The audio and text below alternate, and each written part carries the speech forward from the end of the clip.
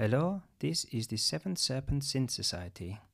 I am afraid I've had to adopt the uh, accent of an old German man just to say the name of my YouTube channel more efficiently.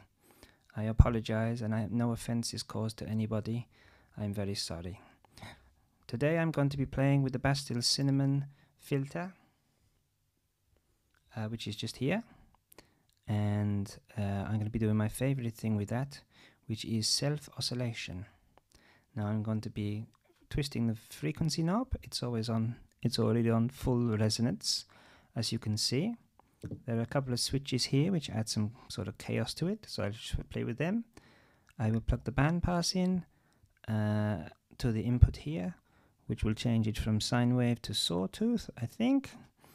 Uh, and then I will put um, a little sequence in and maybe finish with some delay. So thank you for your time. No offense caused to anybody, I hope. Thank you.